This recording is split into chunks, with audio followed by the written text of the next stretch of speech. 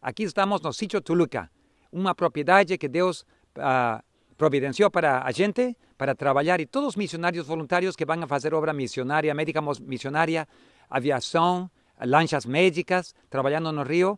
Em esta propriedade é muito amplo.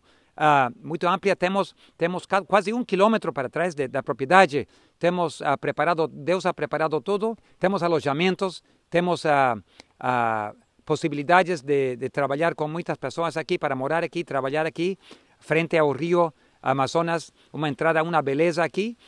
temos possibilidades para colocar um hangar, os aviões que vamos trazer em breve vão ficar aqui, daqui vão sair para todo, toda a Amazônia. Uh, estamos precisando de voluntários, voluntários para trabalhar a obras de saúde, voluntários para trabalhar em evangelismo, voluntários médicos com profissões médicas de, na saúde e também pilotos mecânicos para trabalhar aqui em esta, em esta grande necessidade que temos.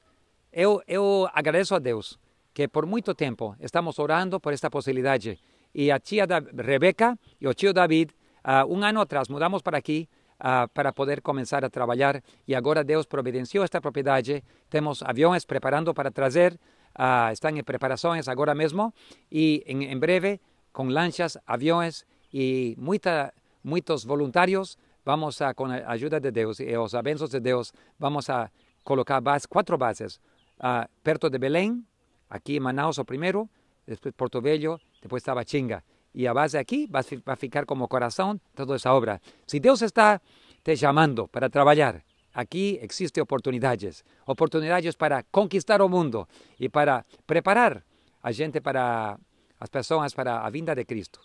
Cristo vem em breve e esta pessoa, tio David, convida para você me acompanhar para preparar o mundo e para ver a Jesus vir e com escutar as palavras, bem feito, servo fiel, entra ao gozo de teu Senhor.